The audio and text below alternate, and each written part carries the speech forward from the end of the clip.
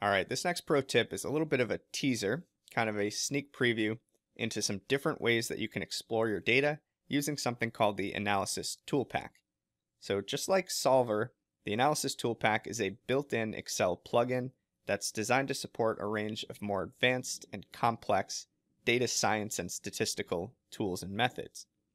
Things like analysis of variance, ANOVA, covariance, regression, t-tests, histograms, and so on. Now, obviously, I don't have time to dive into each of those specific methods in turn. They each deserve a much deeper, much more comprehensive review. But what I will show you is the scope of options available within this toolpak, as well as a few that we can use right off the bat that are simpler but no less powerful. So in this demo, we're going to be looking at a sample of about 5,000 Olympic athletes, along with their ages, heights, and weights. And what we can do is drill into our data tab and look for the data analysis button. If you don't see this, it likely means you just need to activate that add-in. So go ahead to File, Options, Add-ins, and manage your Excel add-ins to activate this tool on your ribbon.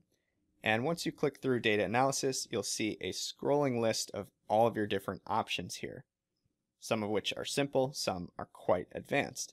Now, for the sake of demonstration, we're going to be talking about two options here. First, we're going to look at a correlation matrix between our three fields, age, height, and weight. And then from there, we're going to generate some descriptive statistics to calculate things like the mean, mode, variance, range, the count, skewness, min and max values, and so on, without having to type a single formula. So that will be a great way to really describe and understand our data with the click of a button. So common use cases here uh, just like I showed you, generating those descriptive stats without having to use formulas. And two, exploring or analyzing data using these more advanced data science or statistical methods, like analyzing variance, building predictive models, etc. So let's jump into Excel and take this analysis ToolPak for a test drive. All right, so go ahead and open up your pro tip workbook, scroll in the table of contents to your purple analytics tips, and we're going to jump into the Analysis Toolpak preview demo here. And when we link out, we'll see our list of Olympic athletes. Again, we've got a sample of about 5,000 athletes here. We're looking at ages, heights in centimeters, and weights in kilograms. So this will be a nice data set to practice some of these Analysis Toolpak options. So first things first, head to your Data tab. Off on the right, this is where you should see your activated plugins. If you don't see Data Analysis, go ahead to File, Options, Add-ins. You're going to manage your Excel add-ins. Press Go. You should see Analysis Toolpak in that list. Go ahead and check the box and press OK. That should pop up right here. And let's go ahead and see what we have available to us. So as we scroll through, we'll see a number of different options here. Analysis of variance, correlation, covariance, exponential smoothing, moving average, random numbers, t-tests, z-tests, and a few others. So obviously kind of a range of, of level of difficulty and complexity here. Um, some simple tools, some that are quite advanced. In this case, we're going to stick to a few basic options that you can utilize right off the bat, starting with descriptive statistics. So let's go ahead and press OK. Here we'll see a pretty intuitive dialog box. It says, all right, what's your input range of values? Well, I'd like to explore or analyze all three of these columns. So let's select B through D. These are organized in columns, so that's good. We do have headers or labels in our first row. And where do we want to drop this output? Well, let's put the upper left corner right here in cell F1. And let's also include the kth largest and smallest one value, basically a fancy way of saying the max and the min. And I think that should just about do it. We don't need to worry about confidence level for mean at this point. 95% default is just fine. Let's go ahead and press OK. And look at this. It's going to drop in all of these summary stats right here in columns F through K, literally in a matter of seconds. Now think about how long that would have taken to produce all of these values with cell formulas. These means, these medians, the standard deviation and variance would have taken quite some time and we were able to just produce all of those values plus quite a few more in a matter of seconds. So looking at our max and min, Looks like we have an athlete who is 65 years old, who's the oldest. Our youngest athlete was only 12. In terms of height, tallest athlete, 216 centimeters. And for those of you who aren't on the metric system, that's about 7 feet 1 inch. And we can confirm by simply filtering our source data here.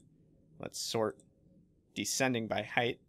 And here we see Andreas Gliniadakis, who is a Greek national basketball player, which shouldn't come as too much of a surprise given how tall he is.